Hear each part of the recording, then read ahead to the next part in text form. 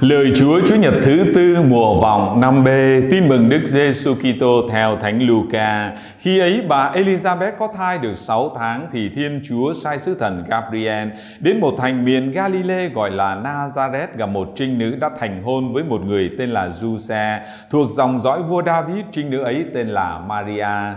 Sứ thần vào nhà trinh nữ và nói: mừng vui lên, hỡi đấng đầy ân sủng Đức Chúa ở cùng bà.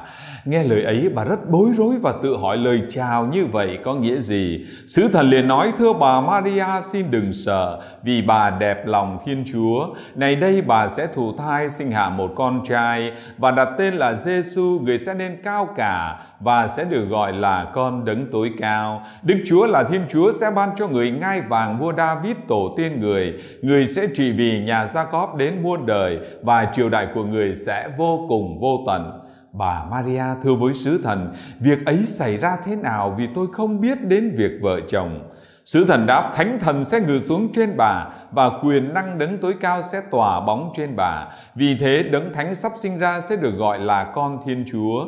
Kìa bà Elizabeth người họ hàng với bà tuy già rồi mà cũng đang cưu mang một người con trai. Bà ấy vẫn bị mang tiếng là hiếm hoi mà nay đã có thai được 6 tháng vì đối với Thiên Chúa không có gì là không thể làm được. Bấy giờ bà Maria nói với sứ thần, Vâng, tôi đây là nữ tỳ của Chúa, xin người thực hiện cho tôi như lời sứ thần nói, rồi sứ thần từ biệt ra đi. Đó là lời Chúa.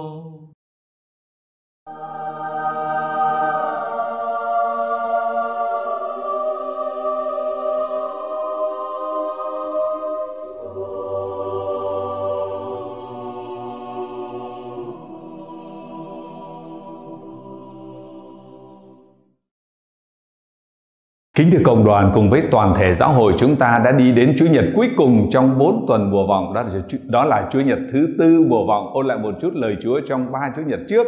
Chúa Nhật thứ nhất mùa vọng lời Chúa mời gọi tất cả chúng ta hãy tỉnh thức để biết cái gì là đúng cái gì là sai. Chúa Nhật thứ hai khi đã biết đúng biết sai rồi thì cùng với Gioan Tẩy Giả chúng ta dọn dẹp con đường cho Đức Chúa. Chúa Nhật thứ ba sau khi đã dọn dẹp được tâm hồn của chúng ta rồi tâm hồn của chúng ta phần nào là tươi mới rồi thì chúng ta cũng cảm nhận được Chúa Nhật của niềm vui. Chúa Nhật hồng Chúa đã làm cho tôi biết bao điều cao cả. Và ngày hôm nay đi vào Chủ nhật thứ tư chúng ta lắng nghe câu chuyện sứ thần báo tin cho mẹ Maria. Mừng vui lên hỡi đấng đầy ân sủng. Mừng vui lên hỡi đấng đầy ân sủng. Niềm vui đi với ân sủng. Con xin được chia sẻ câu nói này. Trong cuộc sống của chúng ta hàng ngày thì khi chúng ta được à, sức khỏe chẳng hạn chúng ta đau bệnh chúng ta hết bệnh chúng ta cảm thấy rất là vui. Chúng ta nghèo khó chúng ta có công ăn việc làm chúng ta có tiền chúng ta cũng rất là vui à, khi chúng ta làm được một cái việc thiện chúng ta cũng rất là vui. Thế nhưng đối với mẹ Maria niềm vui lớn nhất là Thiên Chúa ở cùng mẹ. Chúng ta lấy uh, hình ảnh của uh, cụ già Simeon này cụ già Simon, cả cuộc đời của cụ già cũng chỉ là mong chờ cho đến một ngày khi mẹ Maria ấm hài nhi Giêsu đến đền thờ và ông cụ già simon xuất hiện. Vào đúng lúc đó thì cụ già simon liền nói rằng muôn lạy Chúa, giờ đây theo lời ngài đã hứa, xin để tôi tới này được an bình ra đi, bởi vì mắt con đã thấy, bởi vì mắt con đã thấy tức là đã gặp được Đức Giêsu à, trong nhà dòng đa minh của chúng con thì hay kể câu chuyện của thánh Thomas Aquino đó. Thánh Thomas Aquino là một à, vị thánh rất là giỏi giang và lỗi lạc viết rất viết bao như là kho sách là, là nổi tiếng. Thế thì một ngày một ngày kia thì là uh, truy sự hiện ra với thánh Thomas Aquino và nói rằng là Thomas con giỏi lắm con viết về ta giỏi lắm con xin con xin điều gì đi điều gì cũng được. Và thánh Thomas Aquino nói lệ Chúa còn điều gì cao quý bằng chính Chúa đâu? Xin cho con được chính Chúa.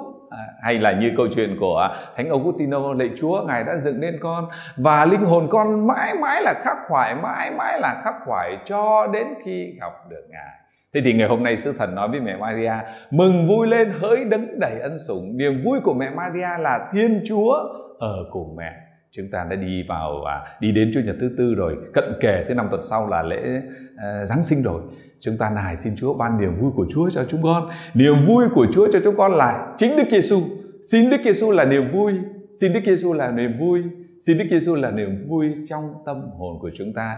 Như Đức Giêsu đã là niềm vui của mẹ Maria, của bà Elizabeth, của những con người mong chờ Chúa đến.